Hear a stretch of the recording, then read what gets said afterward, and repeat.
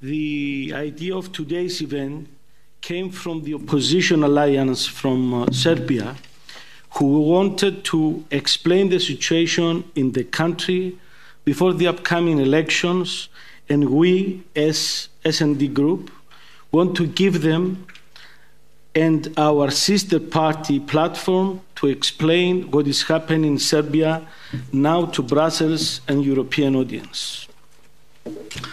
I am myself the S&D shadow rapporteur on Serbia for the next five years, and I shall follow the situation in the country very closely.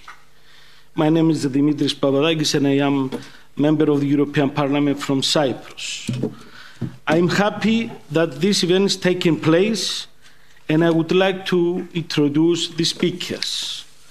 Dragan Đilas, Mayor of Belgrade from 2008 to 2013, and current President of the recently founded Freedom and Justice Party. As a candidate for another mayoral term, he came second during the 2018 elections in the capital one of the main initiators of the Alliance for Serbia coalition, which was formed last September. Nebojša Zelenovic, mayor of the city of Šabac from 2016, making him the only opposition mayor of a city in Serbia, president of Together for Serbia, a local party, and former member of the Democratic Party. He is in process of reintegrating his party with Democratic Party. Zelenovic was also a one-term member of the parliament in the National Assembly for, from uh, 2012 to 2000. 14, in 2018, he addressed the Congress of Local and Regional Authorities of the Council of Europe, focusing on the pressures national governments put on local opposition authorities in Serbia.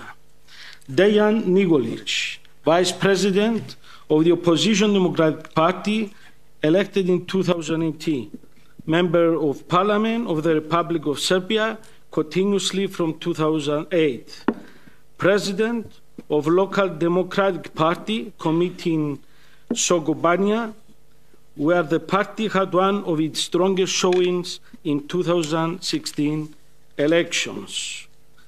Before I give the floor to Tanya to open the event and then the speakers, I would just like to say that I'm very pleased that an inter-party dialogue is happening now in Serbia, conducted by the MEPs and former MEPs, Tanya Fajon and Knut Fleckenstein from S&D side. I hope this dialogue can bring concrete results. And uh, I believe that uh, boycotting is not the solution, but it's a tool. And you have the right, and we respect this right, to use this tool with a proper way. Thanks a lot. Tanya. Thank you, Dimitris. Dear friends of Serbia, first warmly welcome in this house in Brussels.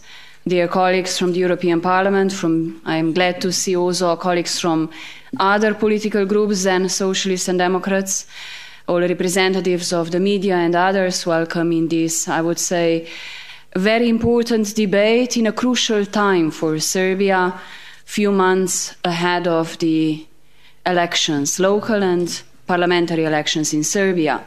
As Dimitris already um, said, um, Serbia is in a delicate situation, if I don't say even in a political crisis, knowing that there is a boycott of the opposition ongoing for several months, boycott of citizens on the streets, and before starting with the inter-parliamentary dialogue, there were severe disruptions of democracy by the ruling regime. Freedom of the media was at a very low point and still is at a very low point.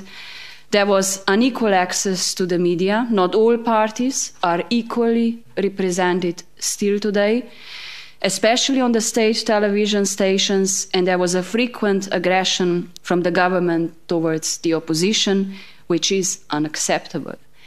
That is why we are also today hosting the representatives of Progressive Alliance in Serbia to give them a platform to express what is ongoing in Serbia. And all those circumstances and the invitation from both sides led to the arrival of us, Europarlamentarians, as you mentioned, as a forum of mediation between the opposition and the government to establish the conditions for fair and democratic elections next year. You are aware that we will have this week the third and the last round of the dialogue in Belgrade, um, the last in the first phase before the elections that will be held next year.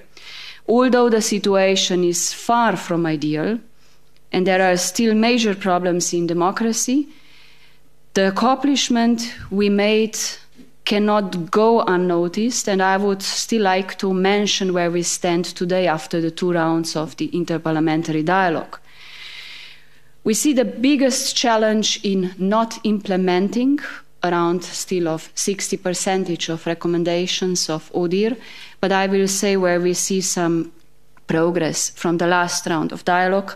That was on the discussion on the composition of 3 plus 1 and work of the electronic media regulation, the regulation of the public broadcasters and media during the electoral campaign, improvement of the transparency and accuracy in the voters list, amendments to the three key laws on financing political activities, on anti-corruption agency on public enterprises, improvement of the monitoring and transparency of electoral bodies, including with the establishment of a new supervisory board by the Parliament. But I would like to still emphasize that we have to see changes in real life. And so far, we don't see them. The next thing that is important is that we assure the proper implementation of new regulations and the laws. Only in that way we can secure democratic and fair conditions, as it is essential to have trust among population on the integrity of the elections. What my colleague said already is that uh, boycott, of course, can be one of the tools. But we see the parliament as a place for a dialogue, and we already in the past called also the opposition to engage in the dialogue and come to the parliament to continue talking, because this is the place for changes and for the dialogue. It's important to bear this in mind ahead of the third round of the dialogue this week. From my point of view, it's always better to have constructive critics, thereby engaging the government and representing the interests of their constituents by improving the conditions for elections, as I said, rather than just boycotting it. And new thoughts overcoming of the existing challenges can prove to be more effective than the boycott. I am fully aware about all the challenges we are facing, we politicians, but mostly people in the country. And there are a lot of people that daily contact me and my colleagues with really big concerns what is going on. And it's our responsibility to work for those people, to establish really conditions that everyone in the country can feel safe to go for the elections. That there is also freedom of media, not only promising the changes on the paper, but to see the changes in the media itself, meaning that also the opposition would have the same chance to be heard on state broadcasters. So, Serbia is for us, and then I will conclude, a very important partner. Yesterday it opened one chapter in the accession negotiations. This is a positive signal, and we need more these positive signals from the region. Um, now we established new way forward with a new commission, with a new European Parliament, and I hope that hand in hand also with the, all political stakeholders in the country and with the opposition that is crucial for every democratic society and healthy democratic society, we can move forward on Serbia's path towards European integration. This is our ultimate goal, no matter from which political option we are coming, but as uh, representing here Social Democratic Group, I can say that we are certainly a very strong supporter of the enlargement on the Western Balkan and of Serbia on its way towards the European Union. And I'm really happy to hear today what you have to tell us. You are our friends. Um, and I hope we can work together for better or safe elections for your country benefit next year. Thank you. Thank you, Tanya. Before I give uh, the floor to Mr. Nikolic, I would like to mention that uh, the event will be web streamed. Mr. Nikolic, the floor is yours. Thank you very much, Dimitris.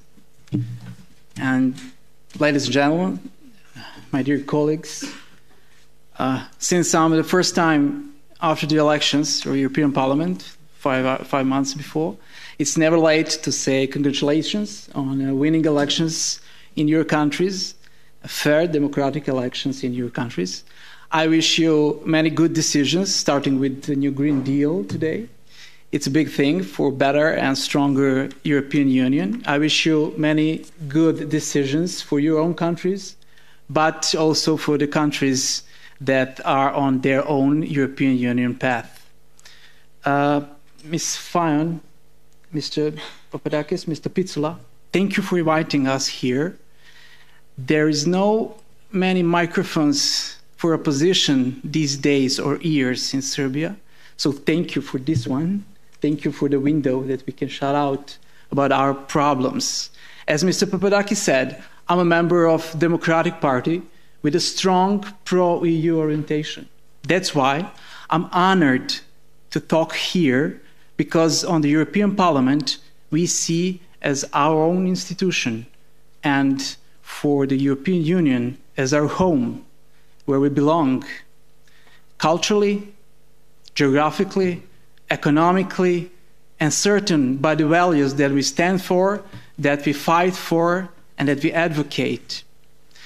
Uh, also, we are very grateful and we deeply respect your delegation to Serbia, even though we don't participate in the round table, we have frequent uh, dialogue with your represent representatives in Serbia and I think this delegation can be very helpful in a future time and for our cause for fair and democratic elections.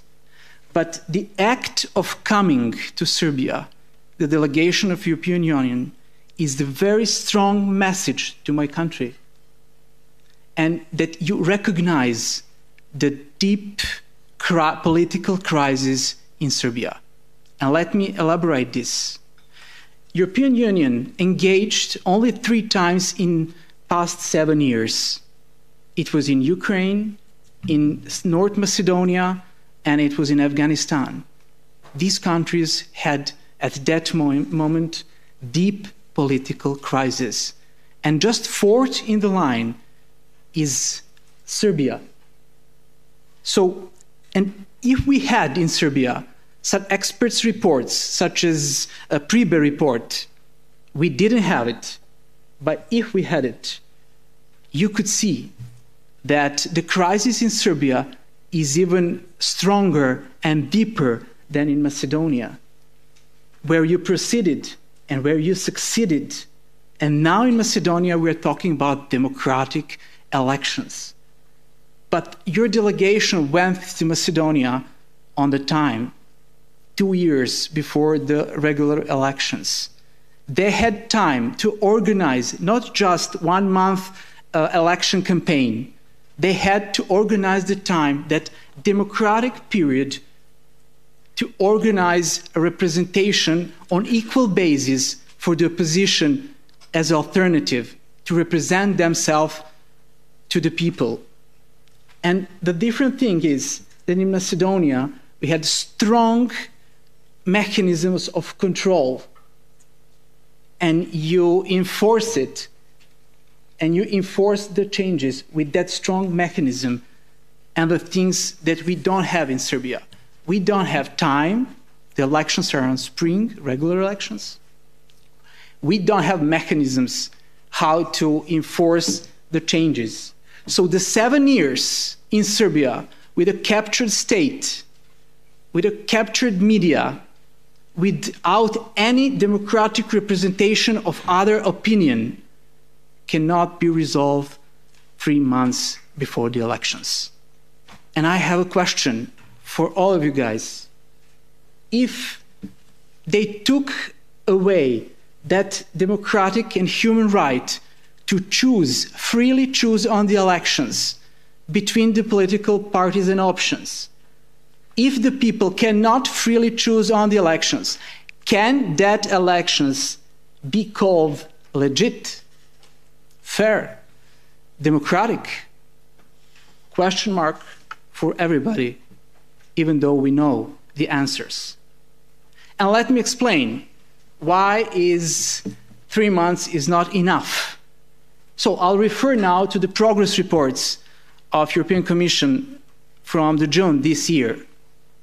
And let me talk about crucial parts for every democratic and fair society. Three separate powers, uh, media, NGOs, independent regulatory bodies. In the progress reports, European Commission sent on the June this year Serbia. You could see many bureaucratic words, yes, but still very precise that that strict border between separate and independent uh, powers, judicial, executive, legislative, vanished. And we are talking about that the part of judicial, uh, executive, and legislative power kneeled before, uh, I mean, uh, the authoritarian regime. So let me explain why and what is said in the progress reports. Judicial part, they said huge concern on uh, political influence on it, so it's not independent. Executive power is fully dedicated to the ruling party interests, not to the public and the common interest. Legislative power, and it's said in a progress report, we're talking about blocked parliament we are talking about blocked parliamentarism. We are talking about that, that the parliament stopped to be what it should be the central place for the political dialogue and the debate. They suffocated the dialogue in our country and in the parliament. And the parliament stopped to do what it should do to represent people and the people to be represented. So the opposition started to boycott it, this kind of institution or what they made of it. About uh, media, in a report, there's huge concern and backslide the freedom of media and freedom of speech. And to be precise, full governmental control over telev televisions with a national coverage. Concerns are shown also in the Freedom House report concerns are shown in the Reports Without Borders report, an IREX index, and without freedom of media, there are no free elections. In a part of NGO sector, the progress report said there is no atmosphere for developing this crucial path. For the independent regular bodies said that it's not, they're not anymore independent. They depend on a government and ruling party and they serve to them. So, if you can imagine, the every disc in the spine of the free and democratic society is dislocated, is damaged, or broken. The spine of free and democratic party is bent, and the door for autocracy are open. The door for autocracy to divide people to ruin institutions and for human rights abuse. So, in the captured state and in the captured media, without any representation of a different opinion, they took away right, political and human right for people to choose on the election. And if people cannot choose freely on the day of the election, and to make opinion before the election, can that elections be called legit? Again, question mark for all of us, for European Parliament also. And even though that we know the answer. So I'm addressing now to my colleagues, uh, members of parliament. There, is, there are members also. Uh, you're a politician, not the officers, and not you're not working in offices. You knock doors in your constituencies. You talk to the people on the street, on the, in the market, and uh, you know that the life circumstances uh, often can be more cruel than it's written in some reports. So let me rephrase you what the progress reports actually means in life circumstances. Uh, when in, in, the progress reports it said that there are concerns about chapters 23 and 24, a lack of reforms which stops Serbia on its European Union path. It means also a selective justice. And let me show you how. Three students from the protests were arrested because kicking an empty bottle toward police. They were arrested, charged, convinced, sent to the, sent to the jail in five hours. And on the other side, five years later, there is no justice for Milan Gavrilovic from Mionica, mayor candidate, Democratic Party, whose head was crushed against hooligans and sent message to the Democratic voters not to go out and to vote. Five years later, nobody's guilty and nobody's charged. Institutions are silent. Three years later, there is no justice for Savamala, the part of our capital, Belgrade, the center of the city was teared down, demolished by heavy machineries and the people with the hats. In the election night, during the night, police turn head around on the other side. Institutions are silent. They demolished a part of a Belgrade and nobody's guilty, nobody's convicted year before, one of the leader of Alliance for Serbia, Borko Stefanovic, where he was, uh, they crushed his head with a metal stick, the back of his head, all, almost murdered. One, they arrested the hooligans, they set them free, and one year after, nobody is charged and nobody is convicted. Student from Novi Sad, Dejan Bagaric, also he was beaten and nobody is convicted and nobody is charged.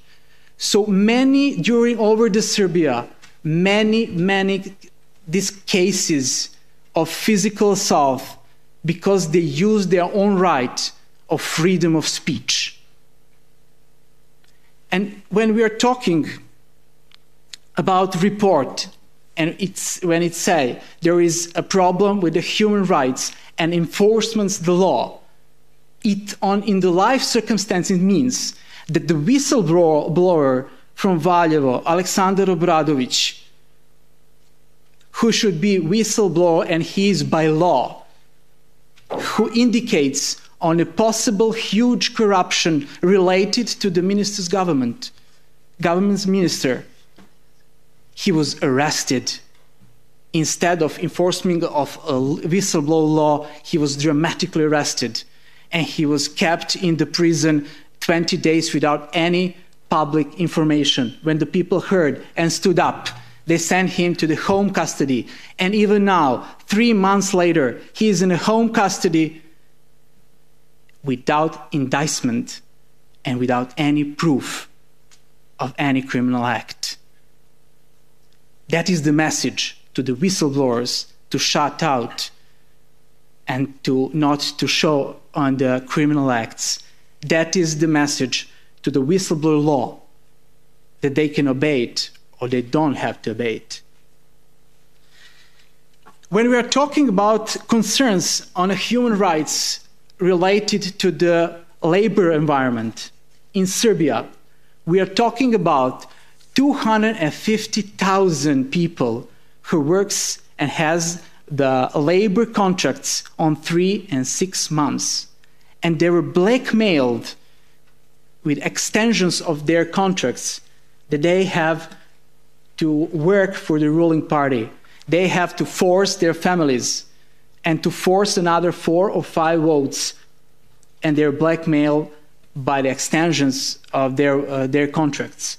So we are talking about 1 million forced votes abusing labor law in Serbia. When we're talking about freedom of media, well, we're talking about full governmental control on every television and media with the national coverage. We're talking about attacks and threats against journalists who and which are critical on a ruling regime. They make an atmosphere that is possible to set the fire on the house of a journalist and shut in the doors in a case that he wants to go out. Uh, try to murder him. And the high officer, high ranking officer of the ruling party is convicted. Actually, he is accused of ordering this attack. I'm talking about very strong uh, tabloids machinery who made an atmosphere after one terrible campaign. The leader of Serbs in Kosovo was murdered by five bullets in his back. That kind of atmosphere we're talking about. And the new situation was that I think you're going to hear of this the first time the ruling party is making protests over the opposition because of a front page of uh, one weekly magazine distinguished called NIN. And without the freedom of media, we don't have free and fair elections, and we have to fight for it. So, seven years of captured state, seven years of captured media, of, out of any representation of a different opinion, cannot be resolved in just three months before the elections. This outgoing dialogue in Serbia, made it by the EU, EU uh, parliamentarians, will not resolve the resolution of political crisis. Not because of your colleagues. They are doing a huge effort there because that the governmental part don't want to change things. They negotiate by that they don't want to change things in practice. So even though if the regime makes some changes, in practice, they will change nothing. And nothing is not acceptable for us. So we made an expert team to make steps with very credible people who make very concrete suggestions with the steps how to get to the aim of free and fair elections and normalization of situation in Serbia and democratization. But we need uh, mechanisms of control, how to enforce changes. And that is the thing that we could do together with you, European parliamentarians, and the support of European Union. Well, until there, we're going to keep fighting out of the institutions, on the street. People started the protests uh, one year ago on the street against this regime. Opposition went out of the institutions. We start boycotting and joined the people on the street. This is going to be followed up by boycotting these elections on the spring. That is going to be followed up with, with are out of the institutions fight for our cause because our right is to fight for democratic and fair elections. And it's our obligation toward the people on the street, toward the people uh, on their jobs struggling for their lives, to fight for democratization, normalization, and also fair and democratic elections. And I ask you for the support because of our mutual future. Thank you very much. Thank you, Dejan. In order to be politically correct, it's uh, North Macedonia. now the floor is Dragan Đilas. Ah? Do you want Mr. Zelenovic? Okay. Thank you very much, Mr. Papadakis. Dear ladies and gentlemen, it is an honor to stand before you today to shed light on the worsening political crisis in my country, Serbia. The last few years, we have seen serious regression in Serbia's democratic reforms, which has led to the complete state and the media capture by the regime. In the meantime, Serbia opened another chapter in the accession process just yesterday. This is an incredible situation. Let me stress that my strategic priority as the President of Together for Serbia is and will remain Serbia's accession into the European Union. There can be no doubt that Russian, Chinese and other external influences are growing in Serbia. However, when you ask Serbians where they want their children to grow up, they will name the European Union without question. While EU membership might be an abstract concept for many Serbians, they all want to live in a country modeled after EU member states, namely where you can receive quality education, where there is a robust healthcare system, where the rule of law is a reality rather than a term into a newspapers. Most of all, Serbs want a country where our children will want to stay and build towards a better future together. The only way to achieve these basic human needs are through EU membership. The only way to uh, I count on your support as we navigate this difficult but necessary process of structural change. My experience as a mayor of Shabac uh, tells me that the quickest way to a democratic society is to include citizens in the decision-making processes. In Shabac, we have the largest participatory budgeting program in Serbia. Just last Sunday, 100,000 people in Shabac got the chance to vote what 2 million, 2 million euros of their tax money will be spent on. All proposals were submitted by the citizens themselves to improve their communities. In general, Serbia struggles to ensure that people pay their taxes. Um, through this program, the tax revenue in Shabac has increased threefold. This shows that citizens' inclusion leads to the most important pillar of democracy, the trust. We also recognize that Serbia cannot move forward alone. Our success is dependent on the success of our neighbors.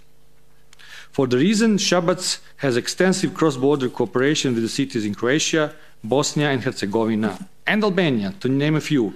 Personally, I am most proud of our project with the municipality of Peć in Kosovo, where we used our expertise uh, in Shabac to teach seven Serbian and seven Albanian families to grow strawberries together.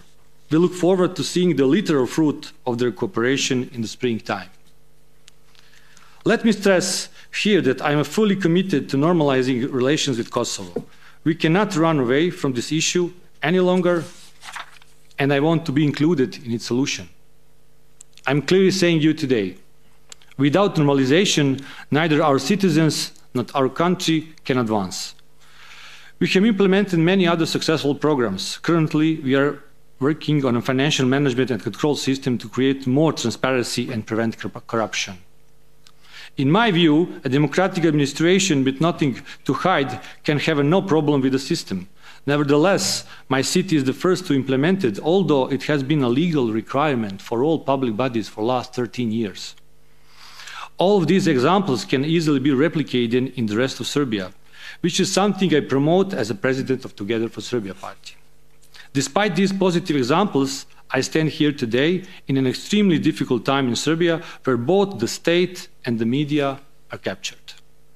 This year, the first high profile whistleblower, Mr. Alexander Obradovic, uncovered a major corruption scandal showing the entanglement of the interior minister's father in shady weapons trade deals.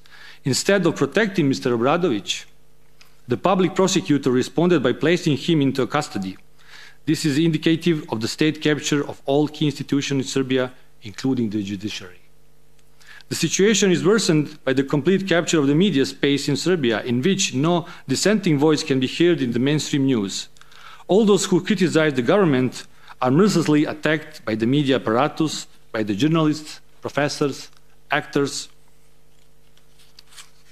even judges. The dramatic regression of media freedom in Serbia has been determined by the, uh, every independent monitor. This year, Serbia dropped 14 ranks in the World Press Freedom Index. Since 2014, we have dropped 36 ranks. The government capture of the media was also cited as the main reason for Freedom House demotion uh, of Serbia from a free to a party-free country. We therefore demand the replacement of all members of the regulatory body of electronic media, which is supposed to oversee the media space. There can be no free and fair elections in Serbia until we liberate the media and our institutions. In addition to the fact that no dissenting voice can be heard in the mainstream media, pressures on the Serbian electorate are currently astronomical. For example, almost a quarter of a million people in the public sector work on a short-time contract which expires just before the elections. These contracts will be only renewed if employees provide evidences that they voted for the ruling party. When the families of employees are taken into account, this amount was to more than 20% of the electorate. We have come here to show you that the opposition is united in its commitment and, uh, to a democratic Serbia based on the rule of law. However, the current capture of the state and media has forced most opposition parties to announce a boycott of the upcoming, upcoming spring elections. The announced boycott is not our goal. It is a means to create basic circumstances in which we can finally start discussing the way forward in our nation.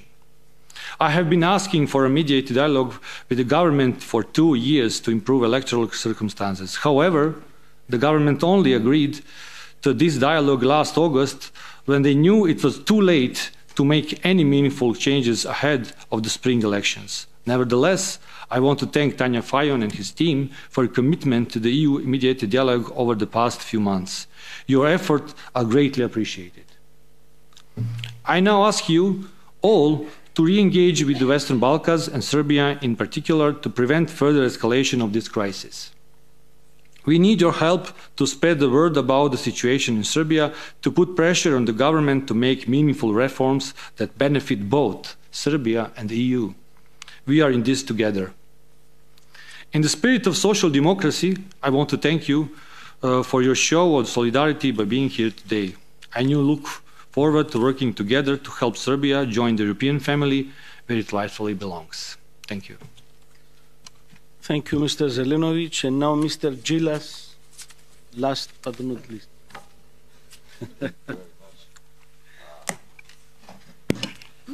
Thank you very much. I prepared some presentation, but before we start with the slides, you can see this.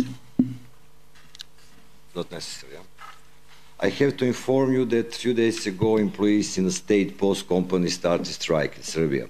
Their salaries are about 300 euros per month uh, in the same time, well-known people who are supporting Vucic regime, such as singers, TV hosts, and starlets, relatives, are also employed in the post office. Their salaries are higher than 1,000 euros per month. Government yesterday and today sent police forces to threaten employees to stop strike. One of the postmen today tried to kill himself by cutting his wings. Our presentation is presentation we gave the name This is Serbia. And I will try to be fast and read this, but you can read this directly from that. This is Borko Stefanovic. Borko Stefanovic, an oppositional politician, was beaten by a metal bar before gathering of the largest opposition group, the Alliance of Serbia, the largest opposition group in the country.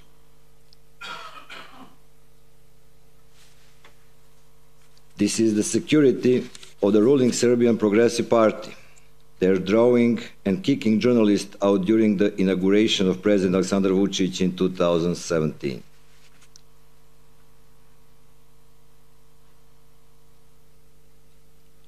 This is Marija Lukic. Me Too movement symbol in Serbia. She is a victim of high-ranking official from Alexander Vucic's party. The trial is under huge obstruction and re-abuse of the victim. This is the rally for support for a sexual abuser and the president of an, of an municipality in south of Serbia. He is an official in Serbian Progressive Party. The rally is organized by the Alexander Vucic ruling Serbian Progressive Party. This is Milan Jovanovic, a, report, a reporter on corruption and crimes of the SNS officials from his district.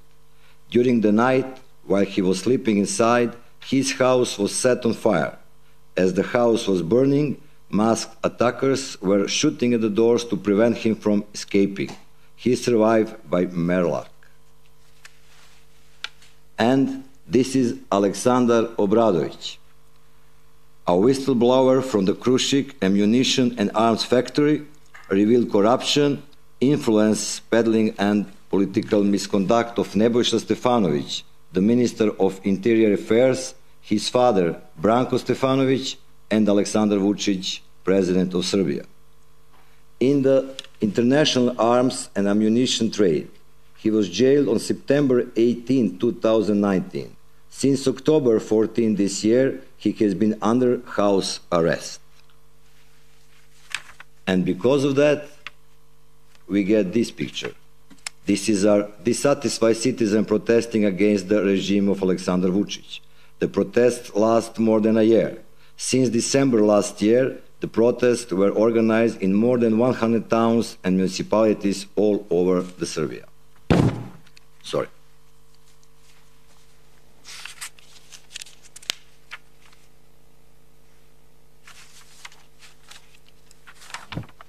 Dejan Bagarić, Mihajlo Nikolić, Milan Blagojević, Marko Đelević, Dalibor Stanojević.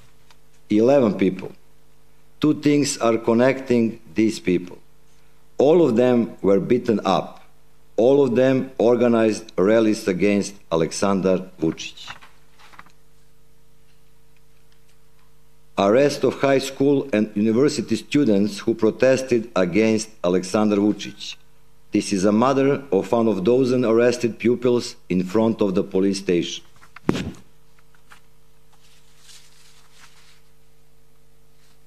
Two professors, Maria Stankovic and Mirjana Mitrovic, were fired because they refused to insult people on social networks and to attend rallies organized by Serbian Progressive Party with money from public institutions and state-owned utilities. And this is Alexander Martinovic. He is the president of the parliamentarian group of Serbian Progressive Party National Assembly. Nine professors from higher medical school in town of Chupria were fired in order to provide additional income for him and for Vladimir Orlic, the deputy president of parliamentarian group of Serbian Progressive Party in Serbian National Assembly. Students are in boycott of their lessons. 2,036 236,000 people in Serbia have temporary contracts for their jobs. If they want it to be extended, they are required to support Alexander Vucic and his regime in every possible way, including taking a photo of their ballots on election days to provide their loyalty.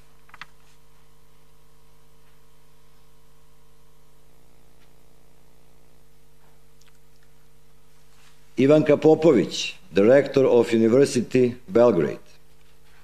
Miodrag Majic, the judge of the Court of Appeals in Belgrade. Branislav Trifunovic, actor.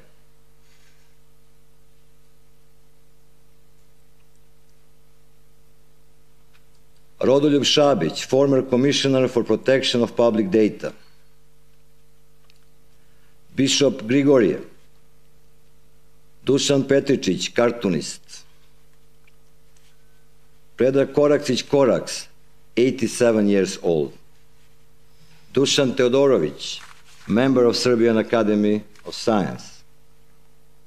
Matija Bečković, poet, writer, and, and member of the Serbian Academy of Science. Against almost Everyone who even dares to criticize the regime, the media and tabloid immediately start to run a brutal campaign. Their targets are well-known actors, university professors, comedians, judges, bishops, Serbian Orthodox Church, academics, cartoonists. After three years of attending the kindergarten, Marta from Žitorađa was expelled because her father liked Facebook posts that were critical of the government and the ruling Serbian Progressive Party. Apart from verbal and physical aggression, Vucic responded to protests by buying two out, of five TV stations with a national broadcasting license. O2 and Prva TV. He is also connected with the acquisition of one of the oldest daily newspapers in Serbia, Večernji Novost. This is a fake cover of one of the oldest weekly outlets. Serbian Progressive Party made this one. On this picture, you can see a murderer of the former Prime Minister Zoran Djindjic. More than 700 fake news on the front pages of daily newspapers in Serbia in one year. It was two years ago. Now we are about 2,000, I think, because we have the progressive this. This is some really data. One of them you can see. Vucic appeared exactly 793 times within a month, 13 days. 15 July, 14 August on TV station with a national coverage, which means that they appeared an average 26.4 times a day. Opposition, zero. Again, zero. Exactly zero times opposition leaders appeared on commercial TV station with a national broadcasting license from last general election held in, held in 2016. Four years, for TV station, zero. Very, very easy to, to remember. And we prepared this before, I will read this again. There are workers of the post office. Their salaries are about 300 euros per month. Police is forcing employees to end the strike. In the same time, well-known people who are supporting Vucic regime, such as singers, TV hosts and starlets, are also employed in post office. Their salaries are higher than 1,000 euros per month.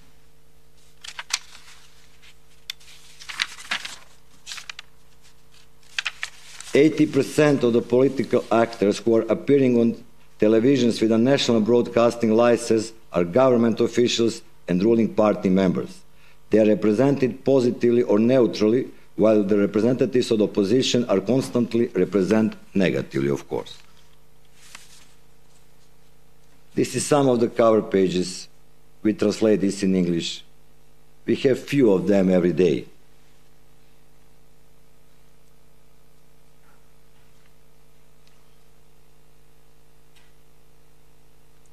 This is interesting. Their only policy kill. This is a very professional journalist. Uh, I just say one this sentence about me. For these headlines, I personally sued editors and media over a hundred times. For such brutal lies, penalties are about 1,000 euros. They pay 1,000 and continue, of course. And finally, this is really Serbia. We have demonstration which organize government against opposition. This is really organized by the members of the ruling party they're protesting against violence of opposition, accusing me and some other people for killing the Serbia. This is on in Cyrillic, my surname. With these cover pages and this, you can see that I'm a very famous guy at the moment in Serbia. I'm not so happy because of that. This is a lot of cover pages. You know that we have time to time this like comedy Six months ago, Minister of Defense and a member of the Parliament wanted to have to start it with a hunger strike against opposition. It is very interesting to see what it demands. I, I, I didn't read, maybe you know better than me, that in some other countries have happened something like that. Opposition leaders have been blamed without any proof for attempted murders, but not only me, everybody who thinks different, not only opposition leaders, for preparing an assassination of the president, plotting civil unrest and try to murder them, him, hiring foreign mercenaries, etc., etc., etc. And this is Serbia today, after seven years of Alexander Vucic in power. I think that for, from me, at the beginning, that's enough. Thank you. Thank you, Mr. Đilas. There. Just one thing, thank you, because of other things here. I have to leave and to, I'm going to leave my friends to answer your questions. Thank you for listening us. I think that now you have a picture about political crisis in in in Serbia. Uh, Ms. Fajon, Ms. Papadakis, uh, thank you again for inviting us and see you in Belgrade. Thanks a lot for being here. Now it's time for debate. Uh, for the first round, three questions, please, very short.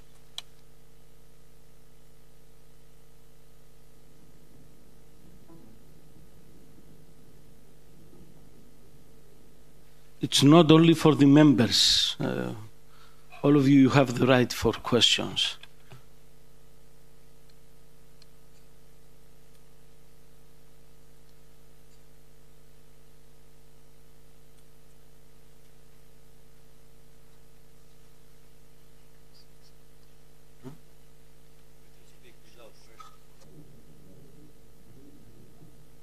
Yes, please.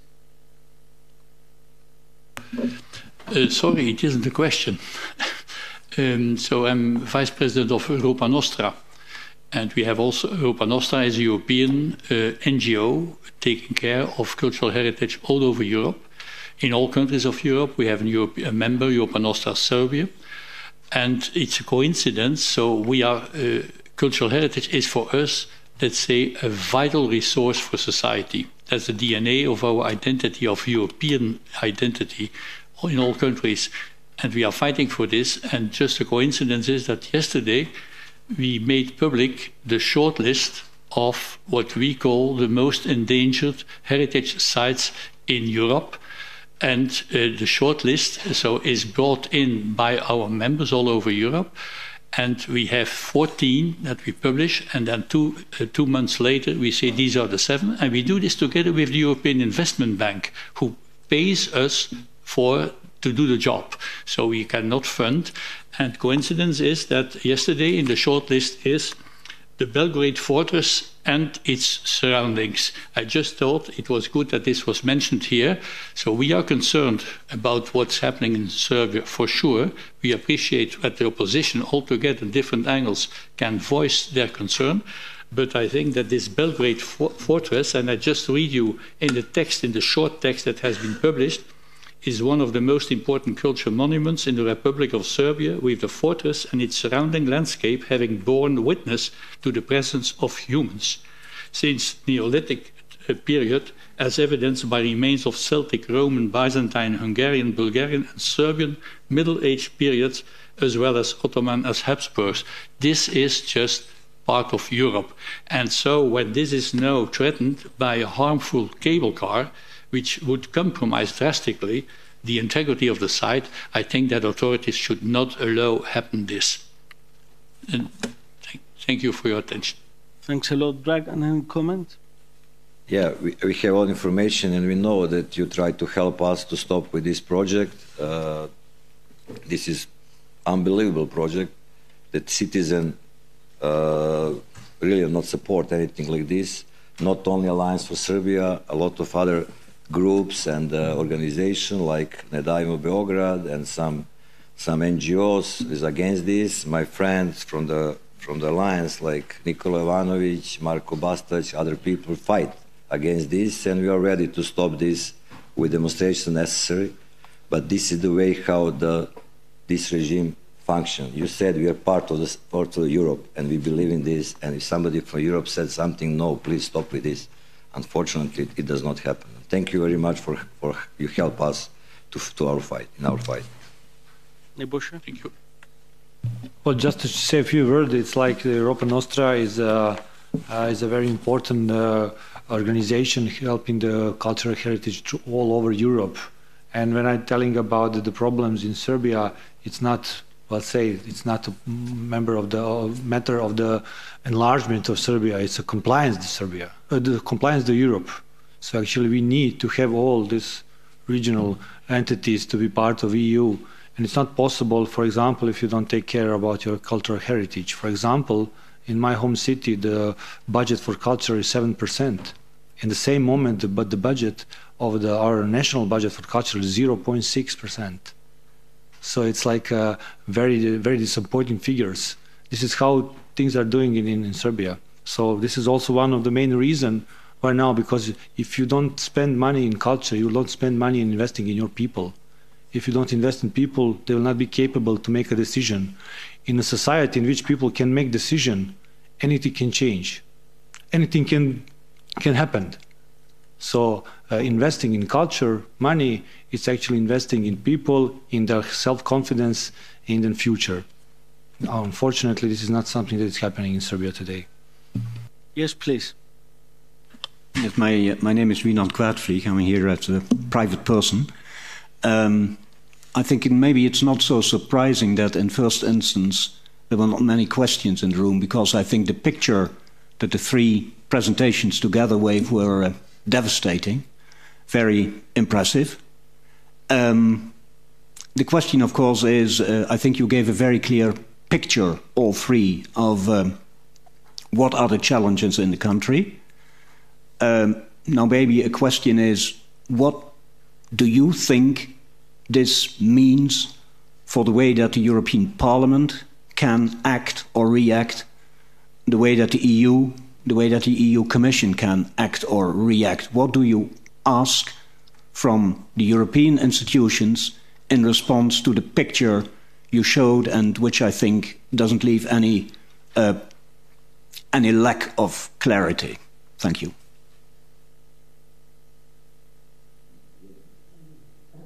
Too much speak for me. Um, uh, we are representing the parties who fought for the Serbia in EU last 30 years because I'm the oldest of these, unfortunate of these three guys, and we continue with this. And time to time, we are not so happy when we see what is the reaction on everything that happened in Serbia came from EU. We are very happy that we have delegation of the European Parliament parliamentarians now in Serbia, but just to know that after every visit of European parliamentarians, the terror rate increases uh, in Serbia, people have come up with the joke that we need to ask you not to come anymore because they will kill us all if you continue. This is just a joke. Please come again, because without you we can't do anything. There is a lot of possibility, uh, not only these uh, uh, activities what you have now. We are really asked from the Priebe report from the Serbia, particularly in media, because we had this in uh, in uh, North Macedonia because we believe that the future and uh, how we can decrease all these tensions and make the Serbia free, free country, get the freedom again. This is this model from North Macedonia, the Prespa contract and the Prespa agreement, and they help us to make something, something similar. And uh, I hope that in the future we, we really make something like this.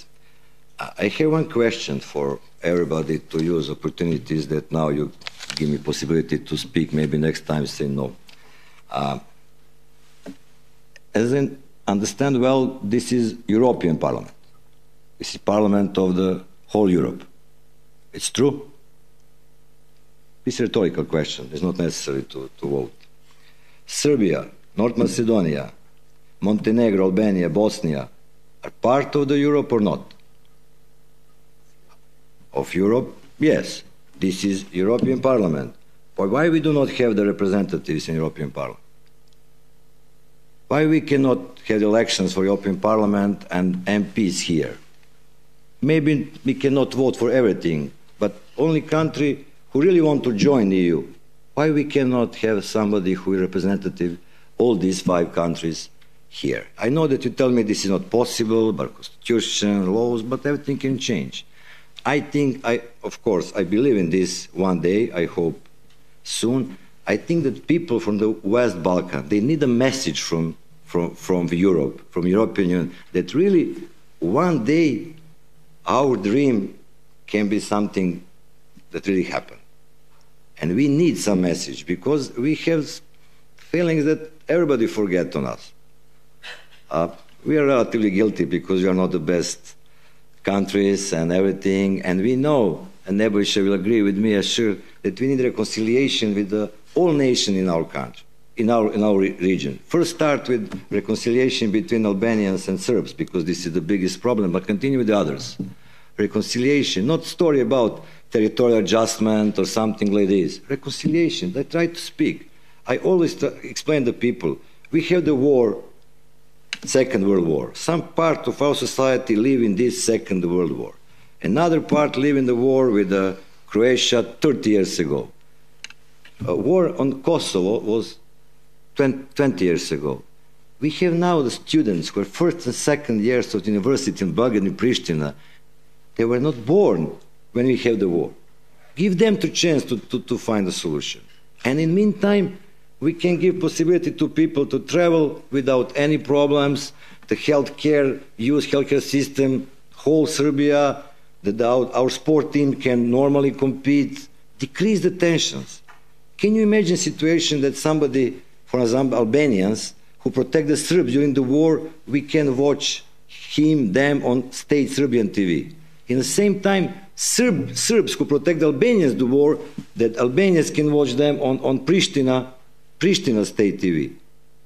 It showed the people. My, one of my friends told me that in the last 20 years he did not see anything positive about any Albanians on any media in Serbia. We tried to fight for this, and we need the people who will not participate in these war criminals, in war crimes, and I hope that this is the chance to solve this. Start with this reconciliation, whole region, increase the salary, because if you have 300 euros, this is very difficult to, to do anything. If you have 700, 800, 1000, you can find solution for a lot of problems. We need the Europe to help us to make this part of the, of the Europe with a normal salary, that the parents can, can, can give something to the children to buy the bicycle. If they start to think about that, we can solve a lot of problems. If you start to think how they survive with 300 euros, we cannot solve any problem. And I think that, okay, now we speak about Serbia, about elections, we are in the boycott. One day we have the free and fair elections, but I think that we start to think about the whole region, not only about Serbia. Thank you. I would like to also give answer to a question. Well, you know, we have these reports, different kind of reports, especially the, let's say the one of the EU Commission that said there is no, let's say, progress in Serbia. But this is incorrect because the situation is rapidly deteriorating. What does it mean? The situation become even worse from month to month. And now the, our political opponent, President Vucic, is preparing for elections by hiring criminals all over Serbia to support his organization and to win on the next elections. In my home city, Shabac, he hired the worst criminals, somebody who was in, in, in prison for 12 years, to organizing the Progressive Party in my home city. And now we are here speaking about democracy, about institutions, about the fair elections. And we want to have a fair election because this is the way the for the solution for everything that we now uh, set in front of you as problems. But there is no fair elections in Serbia. And in front of the entering the, the EU Parliament, there is a sentence that said, "In free and fair elections, the power of the people determines the people in power." Or why we don't have rights for that? Why we are not in a position in Serbia to have this kind of approach, this kind of democracy that is very let's say, uh, very often in, in, in, Europe. Why don't have power to, to vote freely? This is something that we are asking. Can you please help us to have a fair elections? Because if you have a fair elections, then we can solve all the other issues. They are not be, they are not be solved if you don't have everybody in a parliament, all the representatives of all people. Now, It's not about the opposition who would like to boycott. Maybe like in Albania, or it will happen in Montenegro. I'm for sure it will happen in Bosnia too. It's about people. They don't want to be fooled around again. They don't want to be in uh, some processes that are false, they're political circus. That's why people don't want to participate. Not the opposition. There will be some other opposition leaders and parties. But the people don't want to be fooled around again. In this region, that's why they're moving out. That's why they're going to Western Europe. Instead of that, maybe we can do something. We have some offers. We are not here to complain. We are here to offer you some other, let's say, development, and we can do together to actually start our, our region, the Western Balkan, to be, become very similar to you.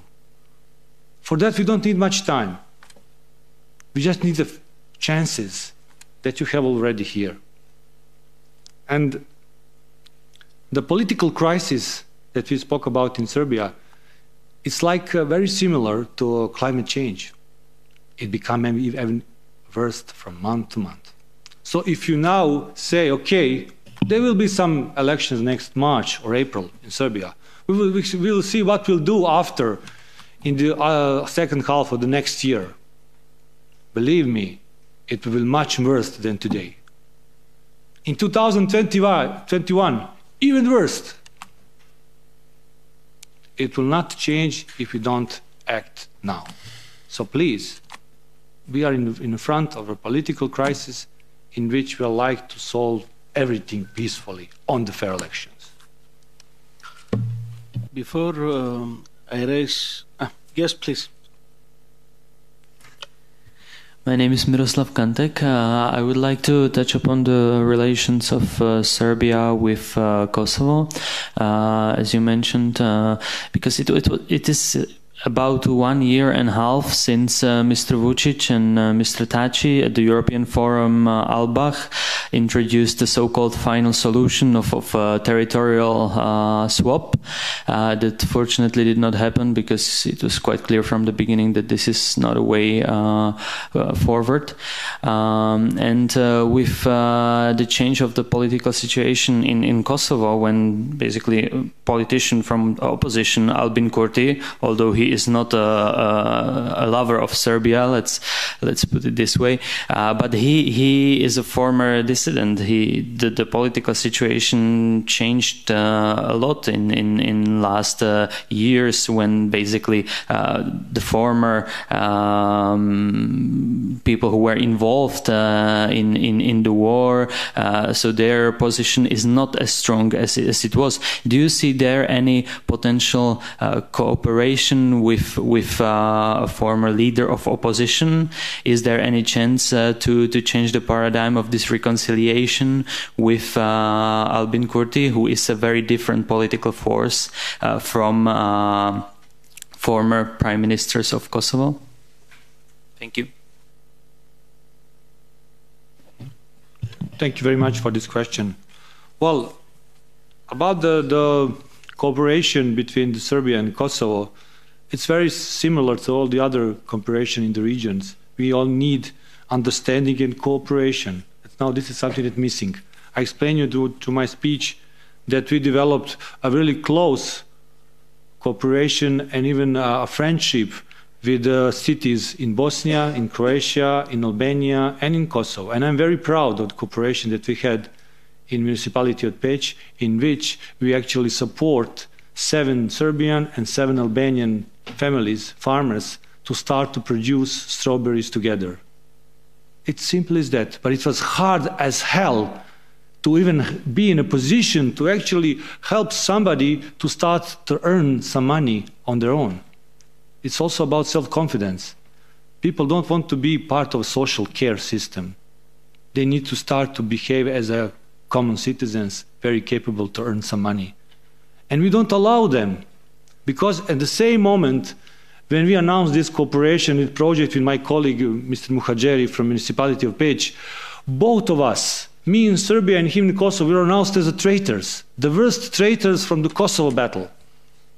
because of the strawberries, because of planting some plants, you know, because of helping people to earn some money. And that's why I think that we need to start to, to work together, to listen to each other, to cooperate, and then we will find the all solutions. Now, I don't know how, but nobody know, knows what's, what's going on. What is the platform? How we can talk with the representatives of Kosovo? Nobody knows anything. I understand that sometimes it's, it's a secret thing. It's not possible to have everything, you know, open. But still, it's not possible to have a solution that would bring out the permanent peace here and to be sustainable if you exclude the half of the population from it. The half of the population.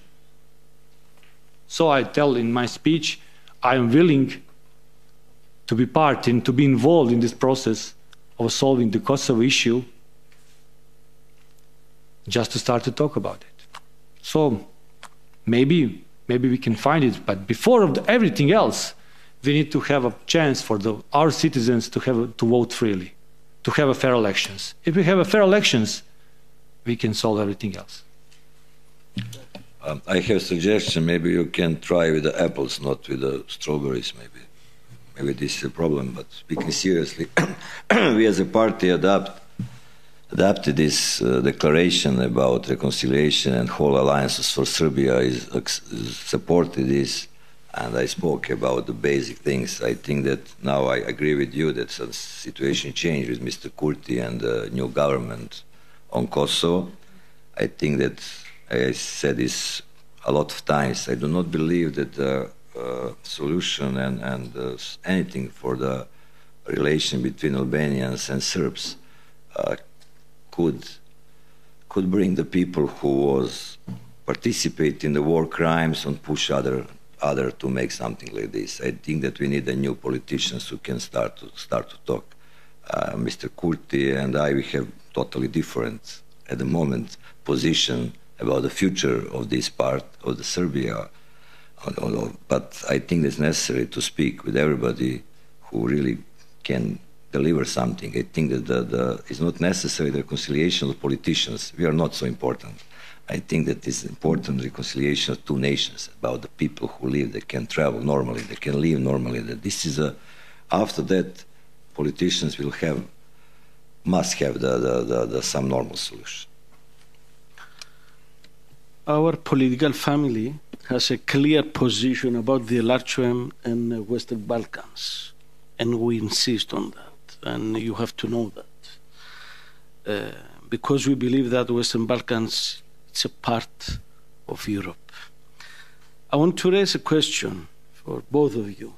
What are the plans for the day after the elections?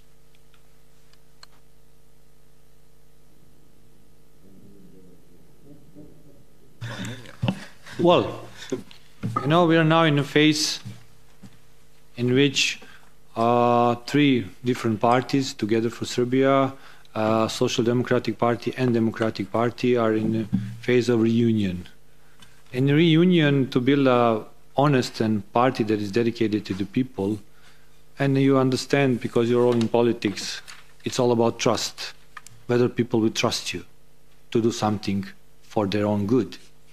We believe that maybe Democratic Party will succeed this time, doing something good and something useful for everybody we will open our finance so that actually everybody can see how things are going in Democratic Party, and we will call people, members and citizens in Serbia and abroad actually to support us because we need to continue our fight and after these false elections. We think that we can, in a short time, return all our financial debts and also enter into a new phase in which we will offer to Serbia the new faces in politics, with the new answers, and actually start a new era in, a, in a Serbian politics in which actually we can provide better citizens' involvement in one hand, on the other hand, start to speak freely about all different topics. We see as the Democrats Serbia in the EU, like I said in my speech, also see uh, Serbia in, in, in a in a position that uh, anybody can vote freely, but also people can be involved in all the making decision processes. But before all of that, we need to have fair elections. And what we will do? Well, we will survive. We will survive after these elections and financially and structurally and be even stronger for next fair elections. But I repeat again, it's not about members of the opposition in Serbia, and it's not about us. It's about people. They don't want to participate on the elections, not on this one. So we will see what will happen. But now, if any opposition leader would like to come and say, okay, let's go to elections, even if it's the worst one, nobody will follow him. Nobody will follow him. So that's why it's very important to have change. Some change, anything. Because existing situation can bring anything good for the future. And as I said, it's like a climate change. It's getting worse every day. I think that Nebojša said everything. I totally, really agree with everything. I just, I do not accept question what happened day after because we don't know what happened tomorrow in Serbia. And uh, this is a few months from today to this day of election. Uh, I, I, just want to pursue some, some very important things that in, in a report of European Commission, all these demonstrations said it's a peaceful demonstration without any violence, and we want to continue on the same way and fight for, the, for something what is the normal in, in Europe 21st century that somebody who thinks different can be on state TV, on other TV station, that newspapers cannot destroy the life of the people. It's very simple that if you work somewhere, you get you have the job, you get the salary. It's not necessary to vote for somebody, or what is the worst, that you can bring five people with you, they vote and make the photo of the of the ballots to show the, the people from SNS if you want to keep the job. Uh, this is not the idea, and I, I always say the same. Aggression and tensions in Serbia are extremely high. And because of that happen a lot of bad things. I think for everybody, particularly first on the government, but an opposition, to, to do everything to decrease this. And our solution for fair and free and fair elections, what is the demands who, who, who they wrote the, the professors, university experts, not politicians, is in some way how we can decrease this. And after that, we can have the elections and we'll see who win. Okay, one election, two, third, it's a lot of elections, but we really have to, to, to, to try to find this solution that we can, can have the normal election because at the moment I think that is a very difficult to imagine situation. Serbia for us is is very difficult to when we see something with somebody who who who who, do not who do not who do not live there. This is uh, unbelievable. I just say again, we have the, the the state that the Minister of Defense and all members of the parliament from the ruling party wanted to to to get to to to, start it with the hunger strike against opposition it happened six months ago. This is like fake news, like Monty Python. This is unbelievable. Ten days ago, we have demonstrations, protests in Serbia against opposition. Come on, can you, can you believe in this, really? And uh, I'm the, time to time, maybe I not look enough a serious guy, but I'm, I'm really, this is a make joke time to time, but this happened really in Serbia. Demonstration against opposition for dictatura or dictatorship or I don't know tyranny of opposition. How? Nebojša, I, I know he, you, you, mentioned or not. We have 100 and uh, how how many municipalities in Serbia? 170. Only four we have opposition of power. This is this is democracy in Serbia today. Thank you. And now Tonino Picula, our coordinator in AFET of S&D Group for the closing. Thank you, Demetris. I do hope uh, uh, and it is not possible to close one process. We start to debate right now here in the European Parliament, and it's very important not because of the future of the Serbia, but the future of, uh, I think, wider region and the European Union uh, itself. Serbia is questioned today. It's questioned by members of our sister party, opposition alliance, in a way. We tackled today what's going on here in Serbia. Uh, we try to be honest broker between anyone who saw us, heard us today, and uh, of course, uh, European institutions as well. It's important to talk about the Serbia situation, first of all, in Belgrade and other towns and cities, small and big ones in Serbia, but it's also important to convey important messages to European institutions. And I think synergy is the only way to help Euro European Union to get um, accurate and precise information what's going on in Serbia, but we need also to encourage uh, our friends from different political, pro-European, first of all, political parties, to carry on. It's not easy to decide to get out of the parliament and uh, continue with your protests on the street. It takes courage, but it should be very well premeditated because it's much easier to get out of the parliament, it's much tougher to turn back. I'm talking not because I read some encyclopedia pages, because I pass it as a Croatian parliamentarian. Before I continue my political career here in the European Parliament, I passed through it in the Croatian Parliament, not once, but a couple of times. So what might fair suggestions could be for our Serbian friends and colleagues? Yes, it's time when it's important to say no to the authoritarian regime, tough guys, goonies, bullies, to stand for your convictions, to try to defend them. But it's a tricky part. We, you, we might take into the consideration that from time to time don't mix two things. Saying no to bullying must not be saying no to institution. Because parliamentarism, I think it's more important that any given person, especially not parliamentarian, against parliamentarians. Because what's the core of the authoritarians? They would put aside parliament, true, genuine parliamentarism.